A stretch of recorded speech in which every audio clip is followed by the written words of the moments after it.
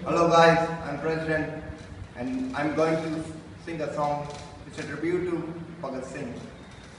ਹਮ, ਭਗਤ ਸਿੰਘ ਕੌਮ ਮੇਰੀ ਦਾ ਹੀਰਾ ਜ਼ੁਲਮ ਨੂੰ ਕਰ ਗਿਆ ਨੀਰਾ ਨੀਰਾ ਆ ਜ਼ਿੰਦਗੀ ਆਪਣੇ ਹਿੱਸੇ ਦੀ ਦੇਸ਼ ਦੇ ਨਾਵੇਂ ਲਾ ਚੱਲਿਆ ਮੇਰੇ ਮਗਰੋਂ ਤੁਸੀਂ ਸਾਂਭਿਓ ਗੱਲ ਸਮਝਾ ਚੱਲਿਆ ਮੇਰੇ ਦੇਸ਼ ਨੂੰ ਤੁਸੀਂ ਸਾਂਭਿਓ, ਗੱਲ ਸਮਝਾ ਚੱਲਿਆ।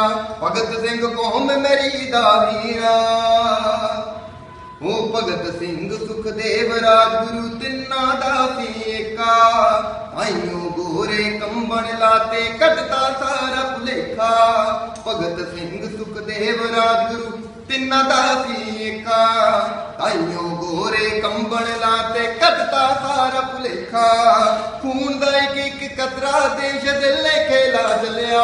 ਓ, ਖੂਨ ਦਾ ਇੱਕ ਇੱਕ ਕਤਰਾ ਕੌਮ ਦੇ ਲੇਖੇ ਲਾ ਚਲਿਆ।